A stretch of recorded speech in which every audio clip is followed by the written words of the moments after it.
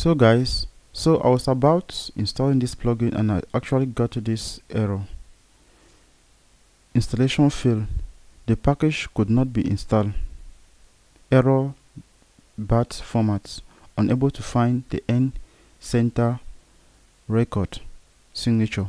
So guys if you are facing this issue i'm going to show you guys two ways in which you can solve it out I'll tell you guys two ways in which you can solve this out so guys the first way is that you simply need to go to your cPanel so when you go to your cPanel you simply click come to storage usage. Once you're there you can actually see that we have exit our maximum storage. So you simply need to contact your hosting company to increase your plan.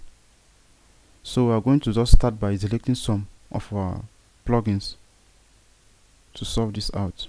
So let me just say if you don't want to delete the plugins you simply contact your hosting company to actually increase the plan. That is to increase your storage. That's the first way. So we are going to delete. Hmm, let me see plugins. Come here I'll delete some plugins. Let me just say like that. So delete so let me delete again.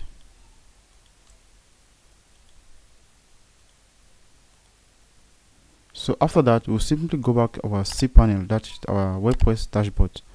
Refresh it again and we're simply going to install this same plugin. Let's see.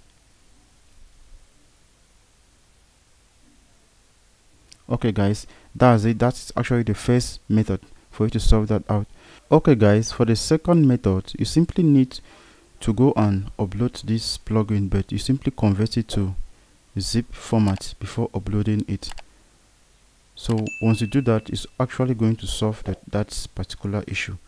Thank you guys for watching. Don't forget to leave your comments in the comment section below. We love you all. See you in the next tutorial. Peace out